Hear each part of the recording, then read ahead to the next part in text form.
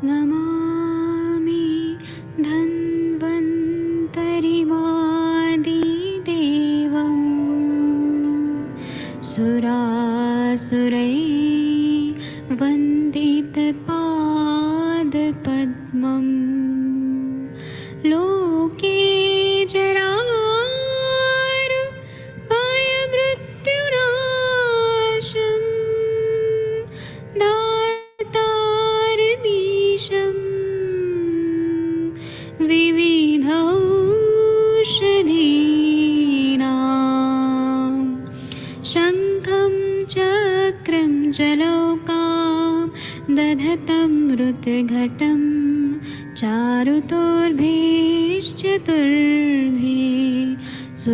स्वच्छाधिरुद्य शुकपरिविल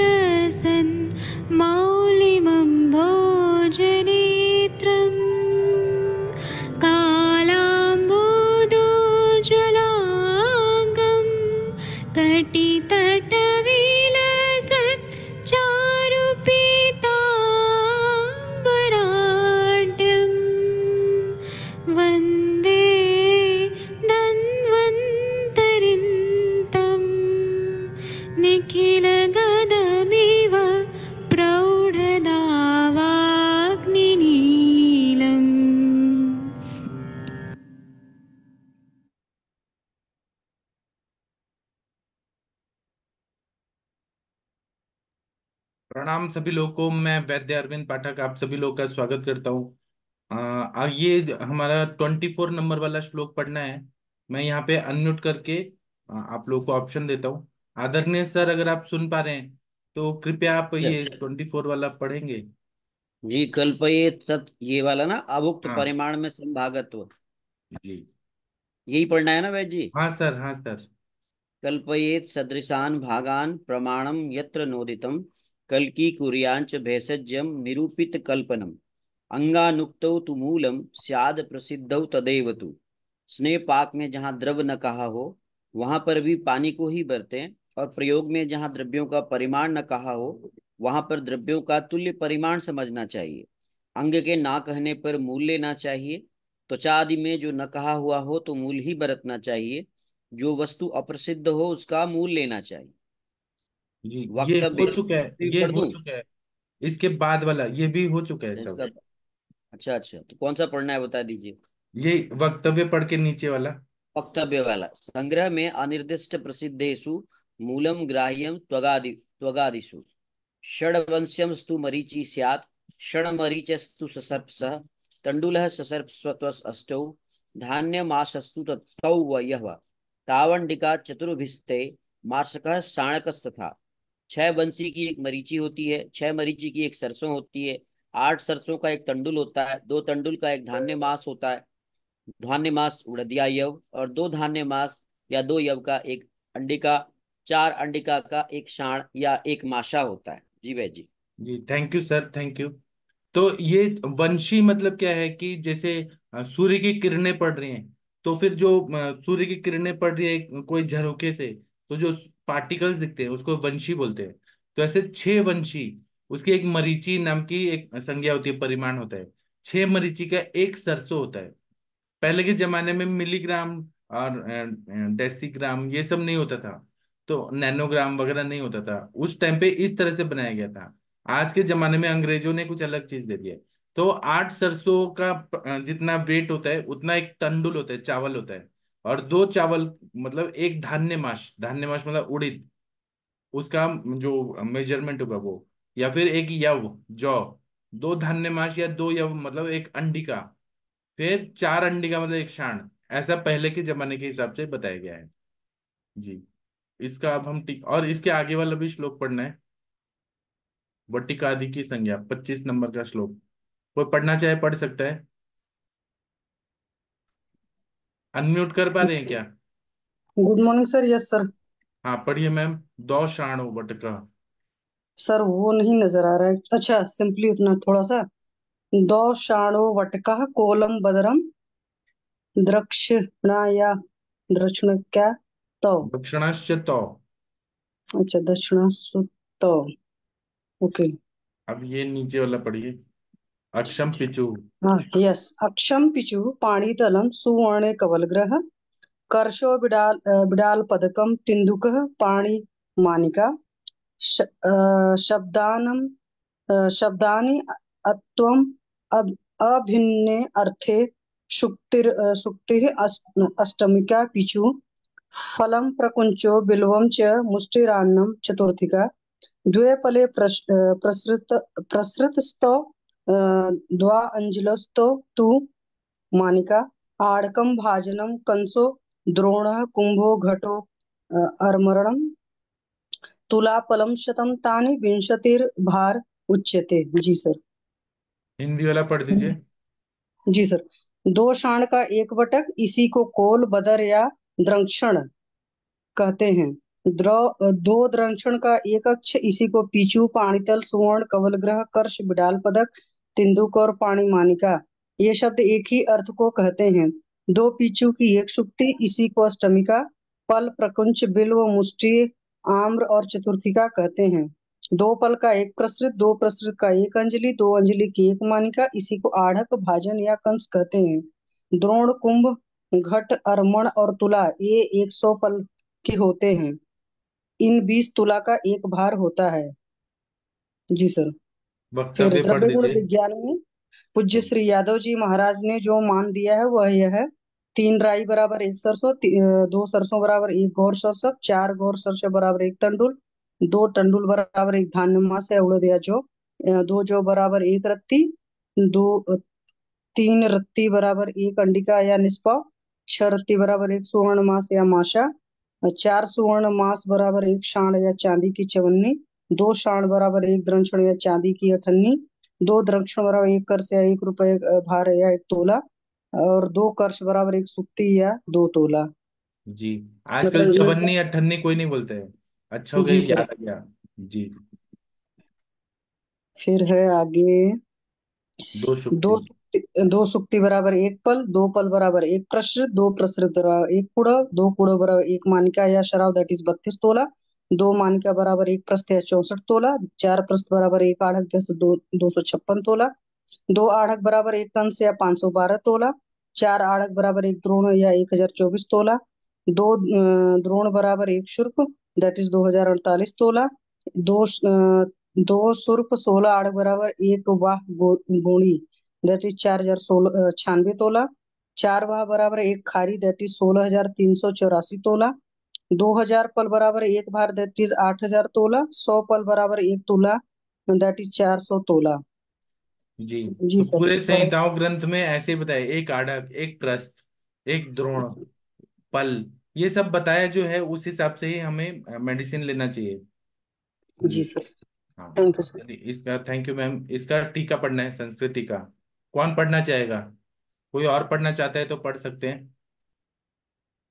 वर्षा madam जी आप पढ़ेंगी? वर्षा ma'am या Veena ma'am आप पढ़ना चाहेंगी? दो श्वाणो वटक कोल ये वाला टीका। द्वौ शाणो जी, वटक प्रणाम। पढ़ रहे हैं कोई? और? आप पढ़ पढ़िए मैडम हो गया पढ़िए उनसे नेक्स्ट वाला पढ़वाएँगे। द्वौ शाणो वटक कोल बदर। दक्षिण द्रक्षणश्चेत्यत्र शब्दान्य।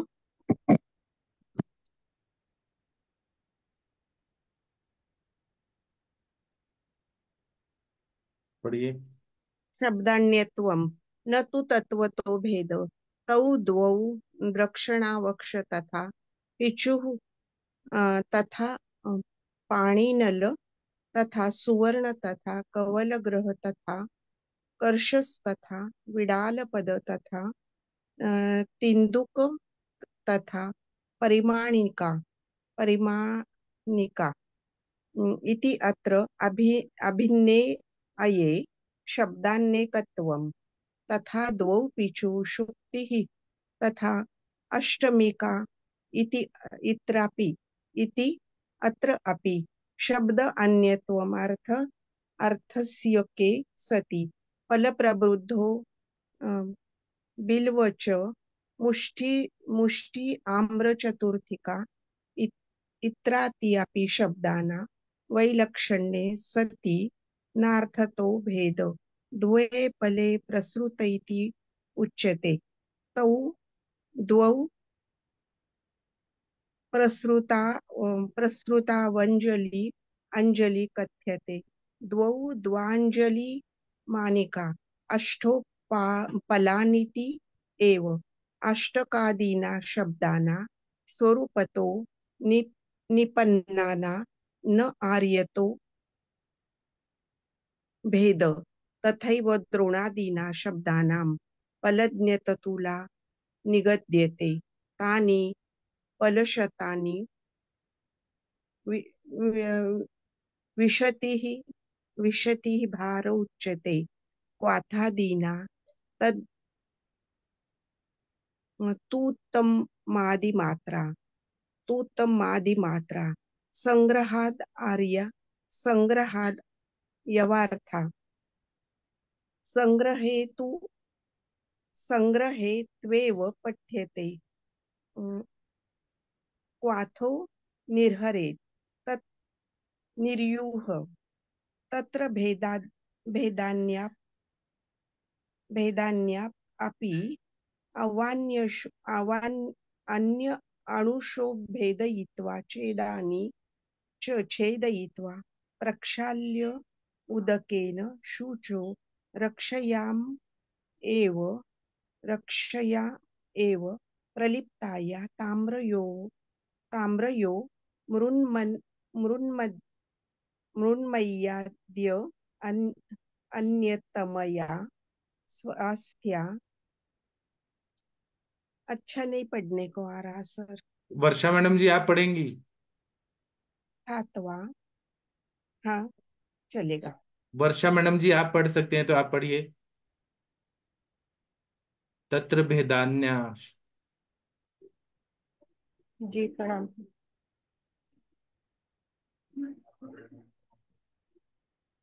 तत्र भेदान्या वान्य वान्य अणुषु भेदयित्वा छेदयानि च छेदयित्वा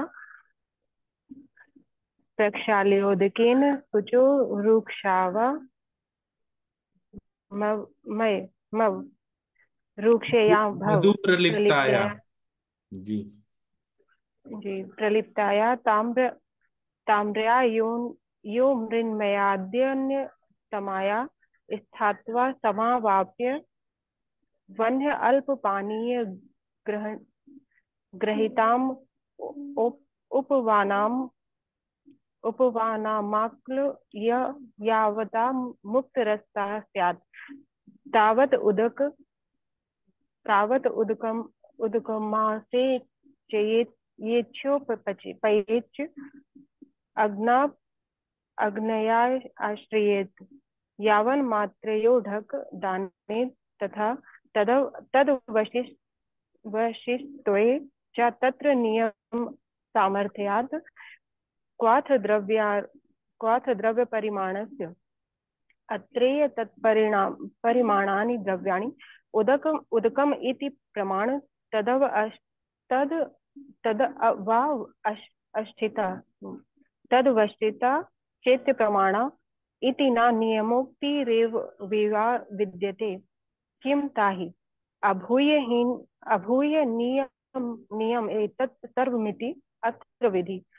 अयाज्ञां विश्चिल विश्चित्य महतास्तिनि सुखोपविष्ट सर्वत् सततम् अवलोकयन् दार, दव्या दार्व्या च विघट्यन् मृदुना च परित समुपगच्छतान् अनलेन अव- अवतार्य च सुपरिश्रुत यथार्य स्पर्श प्रयुञ्जीत क्षीरादि सहित च द्रव्यना सम्यक् मुक्तरसः भवतीति वारिका वारिक्वाथ पूर्वक। क्षीराद्यस्य क्षीराद्यस्य उपदेशे उपदेशे अनुप अनुपदग्ध क्वाथयेत् शीत सलिला प्लुत तु निशा पर्युषित पूत शीत कषाय क्षुण्डाम्भिष क्षुण्डाम्भिषुत पूत फान्त इति। तत्र तत्र वीर्यादि वीर्यादीन्यो औषधस्य व्याधि व्याध्यातुर व्याध्यातुरादि बल बलतश्च। निर्यासादीनां कल्पना मात्रा च संप्रयोजयेत् तथा च केचिद् आहुः मात्राया न व्यवस्था अस्ति व्याधिकोष्ठबलवय। आलोच्य देशकालो च भैषजम् अवचारयेत् एव च सर्वम् अभियूयात् कर्तव्यनिश्चित कृत्वोक्तेन विधिनेति। एतदम् एवम् उपदिष्ट बुद्धिमता ज्ञान प्रबोधाय यथा तु सर्वे भिषजो विज्ञास्यन्ति तथ तथैव उपदेश उपदेक्षत इति। निर्यासे मध्यमा मात्रा चतुष्फलं कल्कचूर्णयो कर्षफलत्रय तद आलोडने निर्यूहे भेषजम उदक उद उदक अर्ध प्रशस्ते अधिशत्य अधि उपनिचय सॉरी हाँ पादशेषम अवतारेत जी। शीत फांटयोर औषध फल षढ़िम चतुर्भि चतुर्भीर अम्बुपलैर आसुत मिति इति।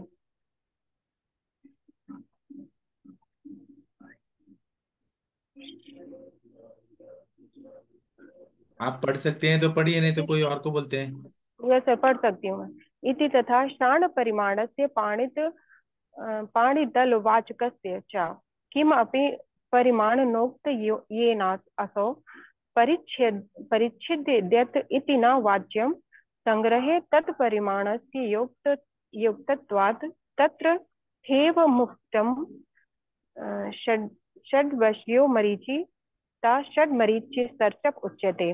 अष्टौ सर्चप सर्चपास्तण्डुल द्वौ तौ द्वौ तण्डुलो, तण्डुलावेकौ धान्यमाश, तौ द्वौ धान्यमाशौ यव अत पर चतुर्गुण वृद्ध्या वृद्ध्यांडिकामाश कषा माशक शाणकर्ष फल कुडव पृष्ठातक द्रोणवः कल्पयन्ते। एव चतुर्भिर्माशकैः शाणस्य परिमाण परिच्छिद्यते। धरण तु फलस्य दशमो भाग, माशकस्य तु पर्यायो हेम। कर्षस्य षोडशिका, आढकस्य तु पर्याया कस्पात्रभाजन च। द्रोणस्य पर्यायो नत्वण तथा अर्मण तथोन अनुमान तथा घट कुंभ कलशश्च द्रोणद्वयस्य च सर्पः इति। आगे भी पढ़ो। हाँ पढ़ दीजिए। संज्ञान संज्ञान्तरम आह दो शाणम शाणाविति। शाणद्वयस्य वटकाद्वयश्च तस्य संज्ञा। वटक वटकद्वयश्चाच्छादयो नव षोडशिका च। अक्षद्वयस्य सुक्त्यष्टमी सुक्तस्य द्वे। द्वयस्य फलादय षट्। फलद्वयस्य प्रसृत। पुडवश्च। मानिका, आडक आडकाद्वयस्त्रिश्र एकार्था। द्रोणादयश्च तत्र पलशन तुला। विशस् विशति विशतिस्तु भार संग्रहे तु धरण तु फलस्य दशमो भाग माशकस्य पर्यायो हेमो धानकश्च फलद्वयश्चा अस्याष्टमानं द्रोण द्रोणद्वयस्य शूर्प इति। थैंक यू आपको कैसा लगा संस्कृत पढ़ के? वीना मैम आपको कैसा बहुत लगा अच्छा।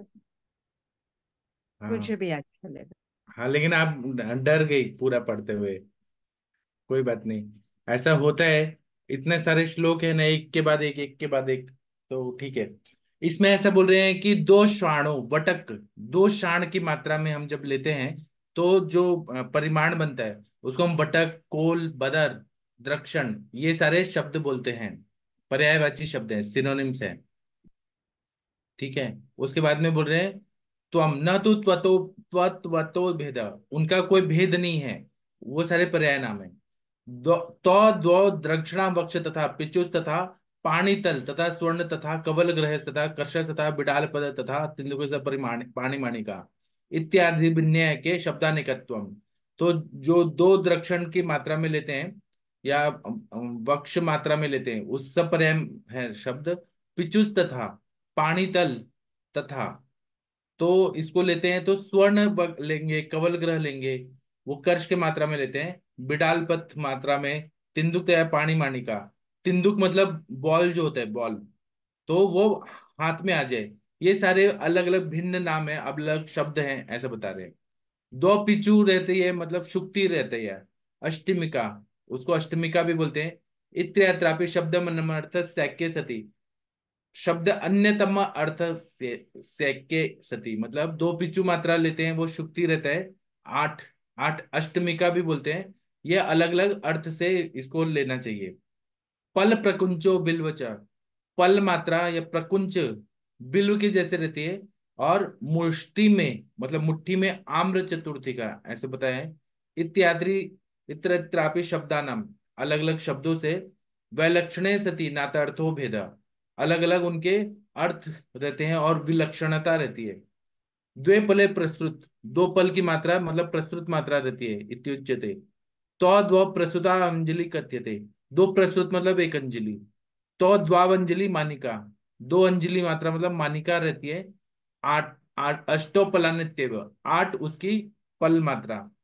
मतलब दो अंजलि मतलब आठ पल। आढ़क नाम शब्दानाम स्वरूप तो भिन्ना नाम ना नार्थार्थो भेद।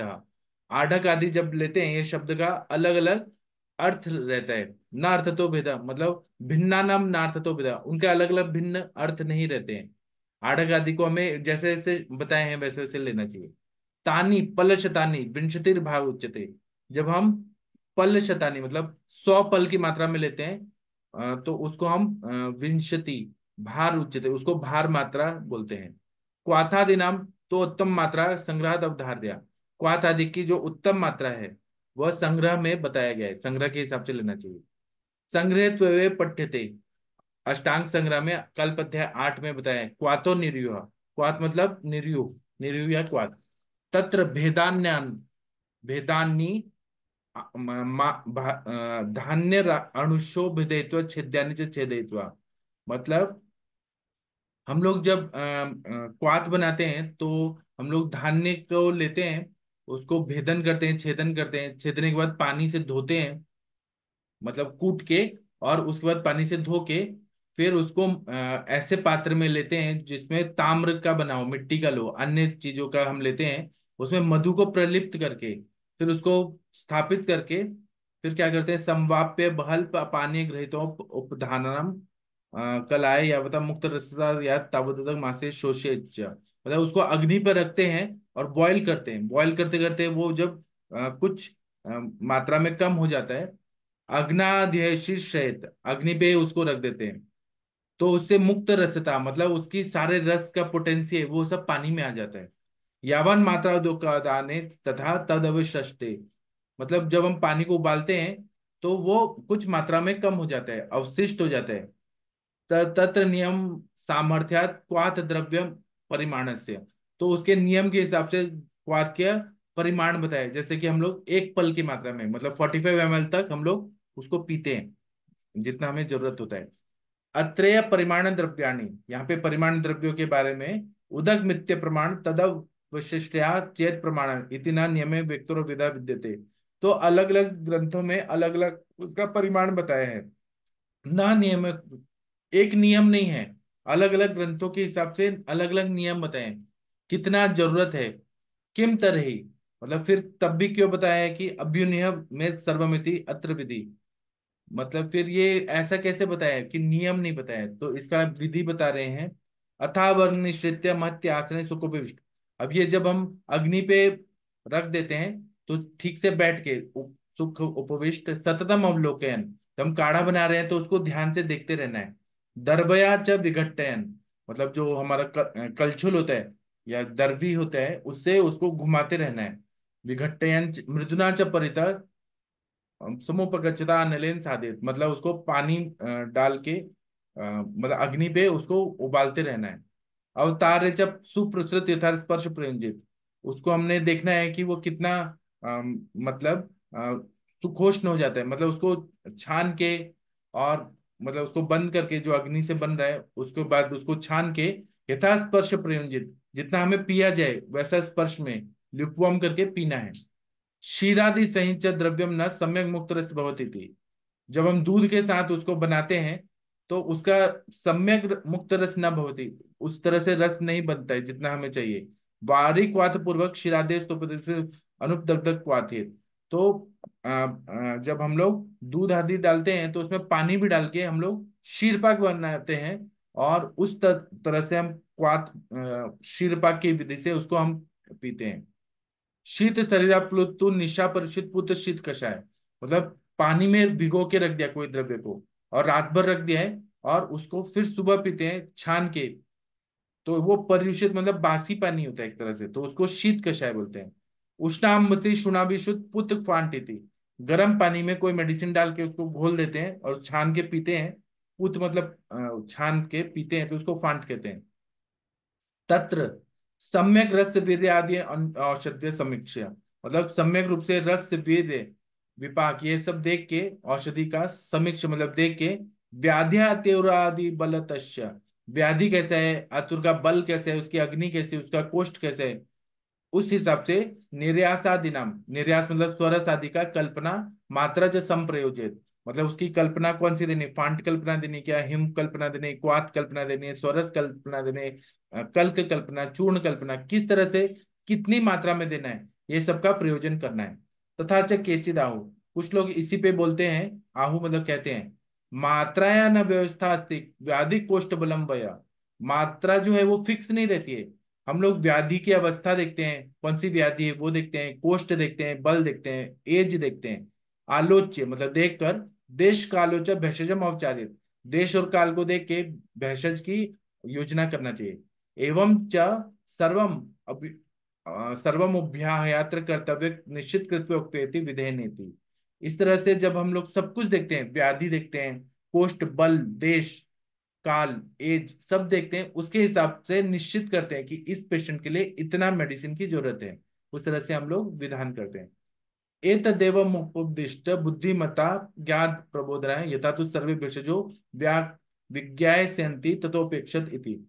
मतलब ये सब जो है, वो बुद्धिमानों को ज्ञान प्रबोधन करने के लिए सभी तरह के भेषज को हम लोग समझते हैं और उसके उपदेश करते हैं। निर्यास मध्यमा मात्रा, निर्यास जो है स्वरस की मात्रा, मध्यम मात्रा रहती है। चतुष्पलम चार पल की मात्रा में स्वरस रहता है।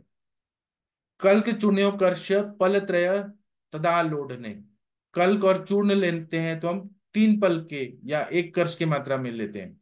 आलोढ़न करना है तो तीन पल द्रव्य में डाल के एक कर्ष डाल के और आ, कल्क बनाते हैं। है ना? ऐसे ही हुआ ना? आलोढ़ने मतलब मिक्स करना। कल्क और चूर्ण को एक कर्ष की मात्रा में लेते हैं या पल त्रय में आलोढ़न करते हैं। निरुय निरुय मतलब क्वात भेषजम पलम मुदकार्ध प्रस्त्यधि सत्य पाद शेषम अवतारित काढ़ा बनाते हैं तो भेषज को एक पल के लेके आधा प्रस्त पानी में डाल के और उसको बॉईल करते हैं वन फोर्थ रख के उसको हम छान के पीते हैं। शीत फांटयोर औषध। शीत मतलब हिम कल्पना या फांट कल्पना को औषध एक पल लेते हैं और औषध पल भी मतलब छह पल की मात्रा में लेते हैं और चार पल पानी लेके उसको बॉईल करके मतलब पानी में लेके और उसको फिर फांट में ऐसे करके पीते हैं या शीत कल्पना को सेवन करते हैं। जी, इसके बाद क्या बोल रहे हैं? तथा शाण परिमाण से पाणीतल वाचक से शाण परिमाण जो है वो पाणीतल को लेते हैं।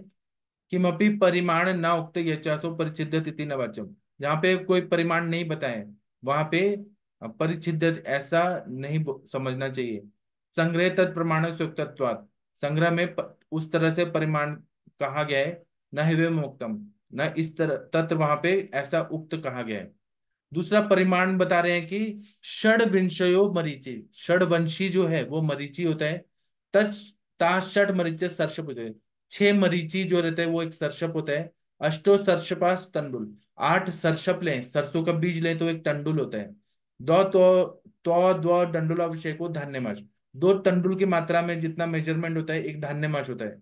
तो दो धान्य माशो यव जो दो धान्य माश रहते हैं, वो एक यव के प्रमाण में होते हैं। अत पर चतुर्गुण वृद्धिया अंडिका माश मतलब चार गुण में जो बढ़ाने पे जो अंडिका होता है, वो माश, शाण, कर्ष, पल गुण प्रस्त आड़क द्रोह, वहाँ, कल्पते। इस तरह से हम लोग चार चार गुणा में बढ़ाते हैं, उस तरह से ये सारे परिमाण होते हैं।